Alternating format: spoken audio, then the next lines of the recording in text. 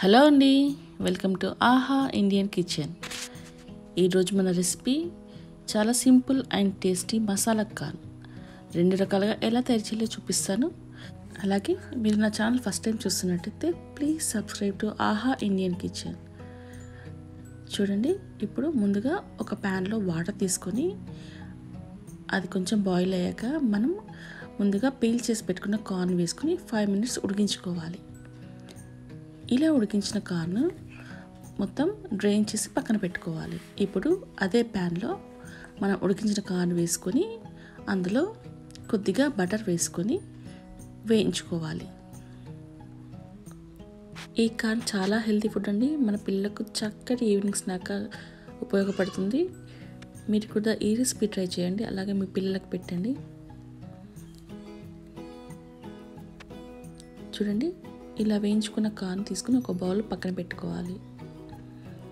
ఇప్పుడు ఇందులో మన రుచికి సరిపడా ఉప్పు కొద్దిగా కారం అలాగే కొద్దిగా ధనియాల పొడి వేసుకొని ఇలా కలుపుకోవాలి.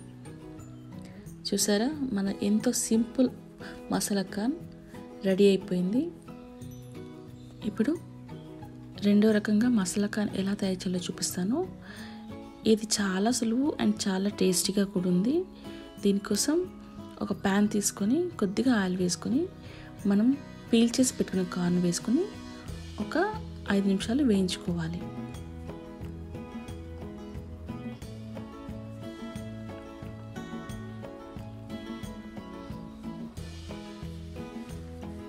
ఇలా కార్న్ బాగా వేగాక ఇందులో మన రుచికి సరిపడా ఉప్పు చిటికెడు కారం అలాగే కాస్త ధనియాల పొడి.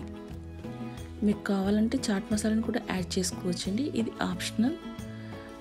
ఇవి అన్నీ వేయించుకోవాలండి. ఒక రెండు నిమిషాలు బాగా వేయించుకోవాలి. చూసారు కదా?